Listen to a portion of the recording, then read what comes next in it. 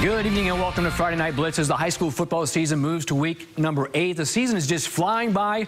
I'm Todd Gibson. We begin tonight with our game of the week. It takes place in the Southwest Wake Conference, Panther Creek at Green Hope. The Catamounts 2 and 1 in league play while the Falcons are in search of their first conference victory of the year. There you see the fight for 55 and this will be a pretty good game. The Catamounts How's this for a start? Very first play from scrimmage.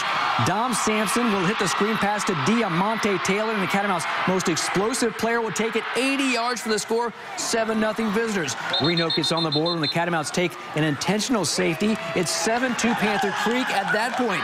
The Falcons had a nice drive going, but Taylor comes up big again, this time with the interception. He would come up with the nice return for Panther Creek. This was a tight one while I was there. Nolan Pasa drills the field goal for the Falcons, 7 to five at that point. Who will win it? Green Hope, the Falcons with the upset, 28-27 in this Highway 55 rivalry. Like each week,